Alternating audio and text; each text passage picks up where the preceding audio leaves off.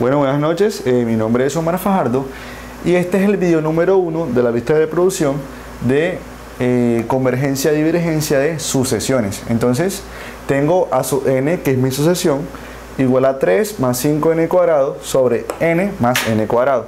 Entonces, yo como sé si esto que está aquí, que es mi sucesión, converge o diverge, simplemente vamos a aplicar el límite cuando n tiene infinito de la sucesión. Si eso me da un número, converge.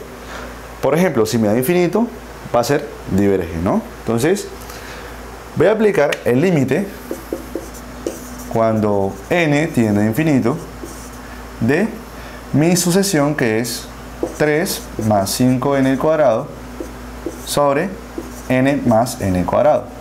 Si por ejemplo usted como estudiante ya ha visto eh, límites al infinito, nada más con verlo sabe que da 5 es el límite que está ahí. Pero ¿qué pasa? Eh, si usted no sabe, bueno, pues simplemente como arriba da infinito y abajo da infinito, o sea que es una indeterminación, yo puedo aplicar la regla de Hospital, o sea que puedo derivar arriba y puedo derivar abajo. Si yo derivo arriba, sería la derivada de 3 es 0 y la derivada de 5n cuadrado es 10n sobre la derivada de n que es 1 más la derivada de n cuadrado que es 2n. Si usted reemplaza sigue siendo arriba infinito y abajo infinito. Entonces me toca derivar de nuevo. Si yo derivo de nuevo me quedaría el límite cuando r tiende infinito.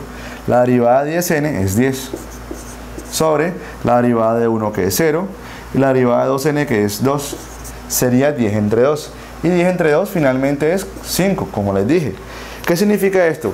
que la sucesión converge ¿sí? ¿y hacia dónde? converge hacia 5. Entonces,